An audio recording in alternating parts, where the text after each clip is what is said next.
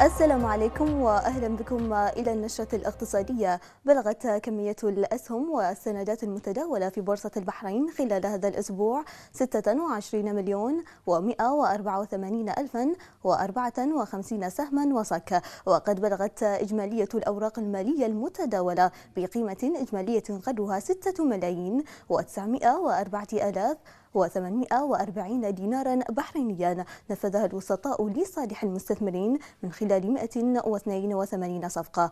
وقد تركز تداول المستثمرين لهذا الأسبوع لصالح الأسهم 21 شركة ارتفعت أسعار أسهم أربع شركات في حين انخفضت أسعار أسهم 12 شركة واحتفظت باقي الشركات بأسعار إقفالها السابق. وقد استحوذ على المركز الأول في تعاملات هذا الأسبوع قطاع البنوك التجارية.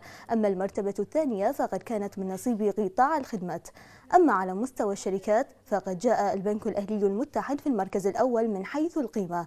وجاءت في المركز الثاني شركة مجمع البحرين للأسواق الحرة. وتداول المستثمرون خلال هذا الأسبوع الصكوك المدرجة في بورصة البحرين بقيمة قدرها 617 ألف دينار من القيمة الإجمالية للأوراق المالية المتداولة خلال هذا الأسبوع حين بلغت الكمية 617 ألف صك تم تنفيذها من خلال صفقة واحدة.